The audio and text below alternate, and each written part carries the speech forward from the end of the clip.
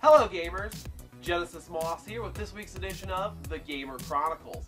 This week, I am reviewing the arcade version of Ghosts and Goblins, which was released on the Capcom Classics Collection on the PlayStation 2. So, let's jump in this review and see what the game has to offer.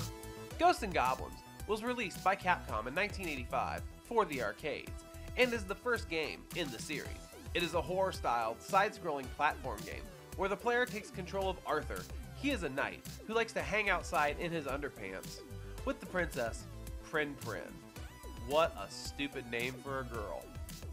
Anyways, she is kidnapped by Satan himself.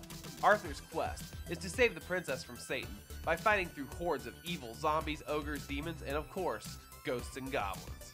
The music in this game sounds great, from pressing start all the way through most of the second level, because that is as far as I got before the nerd rage took over. Sounds beautiful. Just listen to this 80s bit of wonder to hear what I'm talking about.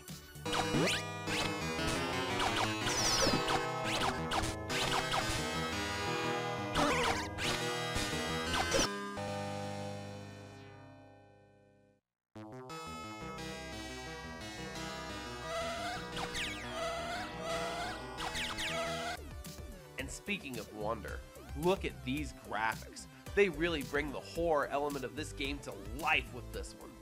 Everything was beautifully done with eye-catching sprites and an awesome horror setting background that in 1985 made all of our jaws drop. The gameplay is very fluid on this. You use the D-pad to move left and right, and the square and circle buttons act as your attack, with the X button being your jump. I like how this is set up on the controller, so no matter what, the jump button is centered.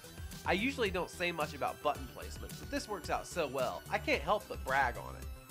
Now for the one thing I do not like about this game, and this is something I would not usually find so bad about a game if this was not just so incredibly over the top.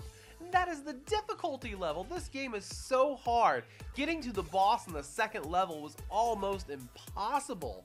Any gamer who has made it to level 3 has all of my respect. And if you have beat this game, may God bless your soul as you deserve a medal. So, overall, how do I feel about this game? If it weren't for the drastic difficulty level, I would say this game is great.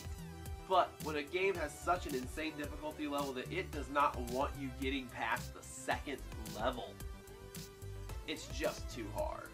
And I have to put it kind of low on my list just because of that. Otherwise, like I said, it will be a fantastic video game. I know it's a classic, and I know I'm probably going to get some flack for saying that it's not this great, wonderful game, but I have to be honest with my opinions, so.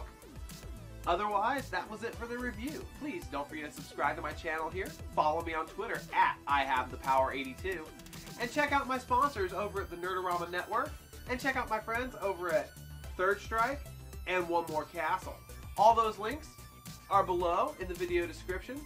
Thanks for watching, everybody, and game over.